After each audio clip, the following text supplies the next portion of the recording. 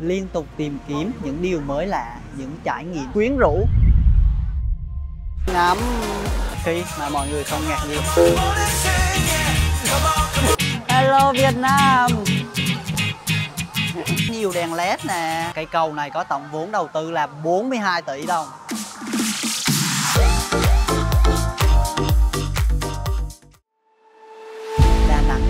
Điểm đến hot nhất mùa hè này với các cái chuỗi sự kiện lễ hội diễn ra liên tục, từ ẩm thực cho tới các cái hoạt động giải trí, âm nhạc khác. Không chỉ có khách du lịch ở trong nước mà còn thu hút các cái du khách từ khắp nơi trên thế giới đổ về. Sau cái lễ hội pháo hoa quốc tế Đà Nẵng DIFF 2023 là lễ hội biển Huda Beach Carnival đầy sắc màu được khởi động tại Đà Nẵng và có một cái đêm nhạc hội bùng cháy cùng các cái ca nghệ sĩ nổi tiếng.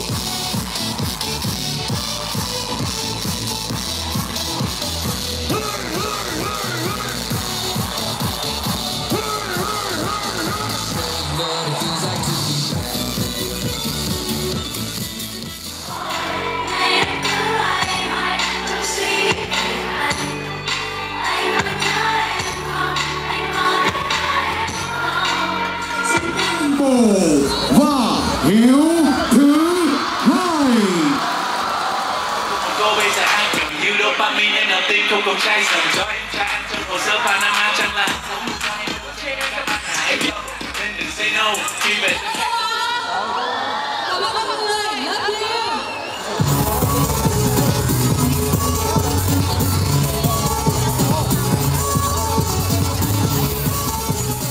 Và sắp tới đây, Đà Nẵng còn khởi động cái lễ hội tận hưởng mùa hè 2023 Wow Đà Nẵng.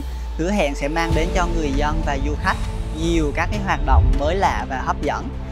Diễn ra từ ngày 28 tháng 7 đến ngày 1 tháng 8, lễ hội tận hưởng mùa hè 2023 Wow Đà Nẵng sẽ có nhiều các cái hoạt động hấp dẫn như là đêm nhạc hội, à, các cái lễ hội ẩm thực, các cái chương trình tại à, bãi biển, giải dù lượn thành phố và các cái chương trình DJ, nhạc rap, nhóm nhảy vân vân vân vân vô cùng hấp dẫn, vô cùng sôi động.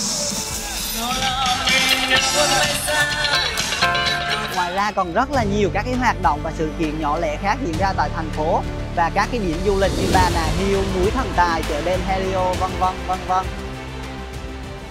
Nếu có thể sắp xếp được thời gian á, thì mọi người đừng bỏ lỡ cái không khí mùa hè của Đà Nẵng này nha. Sắp xếp được thời gian rồi á, mà điều kiện không cho phép để đi á, thì mọi người cũng đừng quá là lo lắng. Hãy inbox trực tiếp cho Chiêu hoặc là comment xuống dưới video này. Tôi sẽ xem xét và làm thật nhiều video để đưa mọi người đi du lịch online.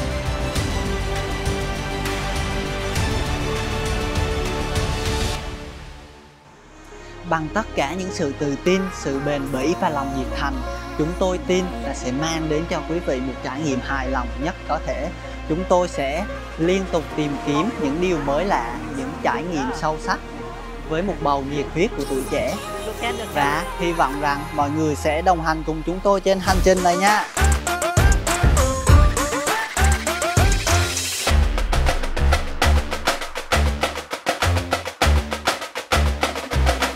Tôi làm được, bạn làm được, chúng ta làm được. Hành trình vàng dặm bắt đầu từ một bước chân nhỏ bé. Đừng ngừng lại, hãy tiến lên phía trước.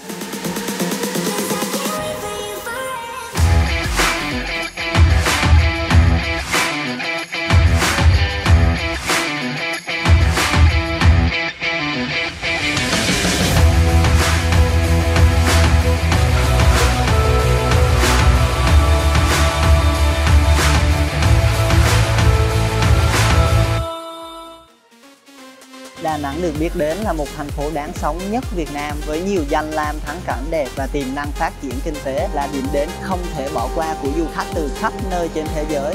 Bắt đầu hành trình khám phá thành phố sôi động này bằng cách ghé thăm bãi biển Mỹ Khê, bãi biển với cát trắng mịn và nước biển trong xanh quyến rũ. Không có gì lạ khi bãi biển này lọt top 10 bãi biển đẹp nhất châu Á năm 2023 và từng được tạp chí Forbes bình chọn là một trong 6 bãi biển đẹp nhất hành tinh. Với đường biển dài và rộng, du khách sẽ được tận hưởng không khí trong lành ngắm nhìn cảnh đẹp của biển và núi đồi.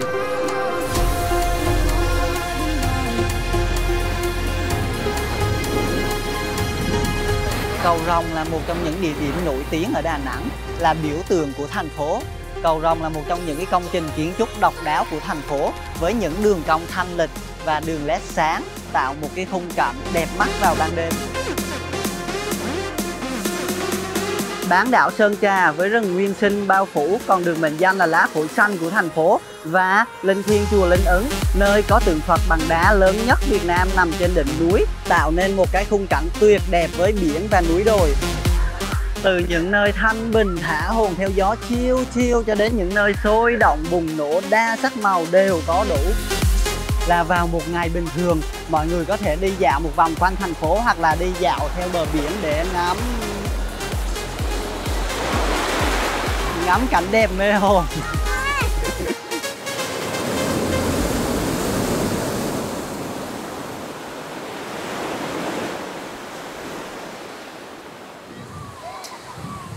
Hello, your family is so nice. Uh, can I uh, touch a picture? Can you send us picture later? Yeah, that's mine.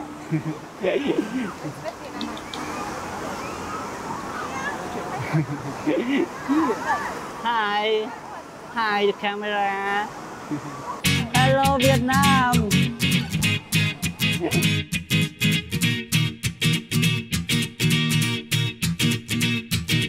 One, two, three, four, get my shoes and out the door. Five, Alive. Six, seven, eight, feeling great. Nine, gonna shine, life is good. I'm doing fine. Ten, gonna do it right and do it again, yeah. I look into the sky with all the beautiful color, but there's more than just for me, so gonna share it with another. I got to show, to give, let out. I want to sing and shout. Take a look and see a beautiful morning that turns into a beautiful evening, and together make a beautiful life. And if you wanna see, then come along with me, that's right. And if you want a good tomorrow,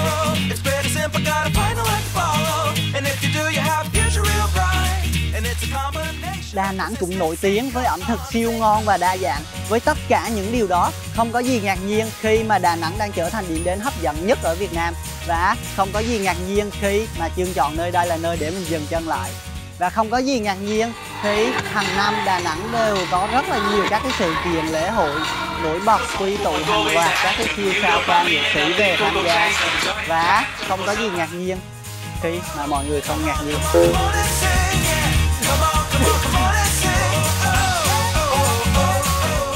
Đà Nẵng cũng được biết đến là một thành phố với nhiều cây cầu đẹp và hoành tráng. Ngoài cầu Rồng, cầu Trần Thị Lý, cầu ờ, sông Hàn, cầu Thuận Phước thì mới đây Đà Nẵng còn gây choáng khi vừa xây dựng xong cái cầu đi bộ trên cao đầu tiên ven biển tại Đà Nẵng. Cây cầu có thiết kế độc đáo theo kiến trúc của Nhật Bản. Ờ, thì nó có nhiều đèn led nè, rồi nó có thang máy nữa thì nó cũng bình thường thôi. Nhưng mà cái cái đắt tiền ở đây á, là cây cầu này có tổng vốn đầu tư là 42 tỷ đồng.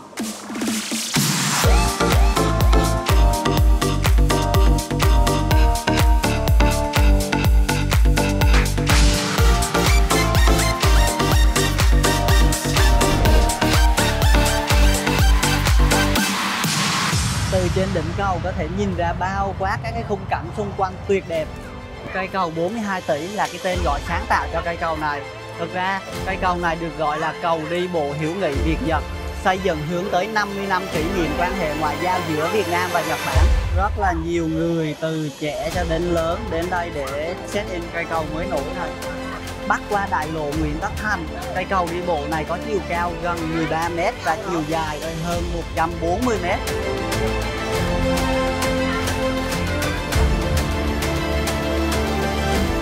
Về đêm, cây cầu bộ hành trên cao này liên tục thay đổi màu sắc. Đây có lẽ là một nơi check-in mới cực kỳ thu hút các cái du khách và người dân địa phương. Ở đây là rất nhiều, từ người lớn tới trẻ em và các cái bạn trẻ rồi tới đây để check-in vào buổi chiều tối.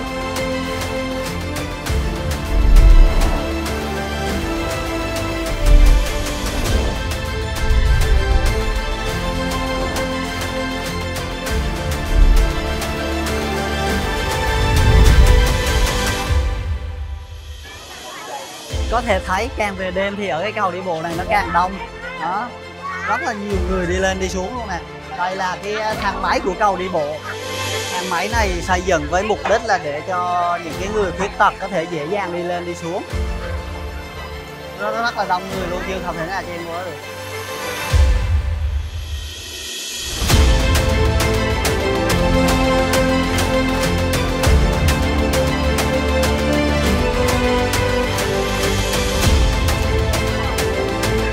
thành sau hơn 5 tháng khởi công, hình dáng cây cầu được lấy cảm hứng từ những cái cơn sóng biển, tạo nên một cái cảm giác thư thái và nhẹ nhàng, gắn kết với khung cảnh thiên nhiên nơi đây.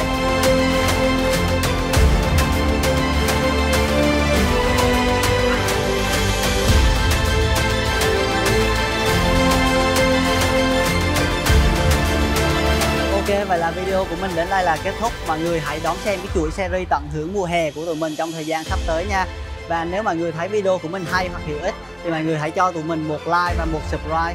Còn nếu như thấy video của mình làm chưa hay hoặc là mọi người muốn mình làm về chủ đề nào khác, thì mọi người hãy comment xuống bên dưới để tụi mình biết, tụi mình đọc và tụi mình sẽ làm những cái video thật là hay hơn nữa. Cảm ơn tất cả mọi người đã xem đến hết video. Ok I'll see you in the next time.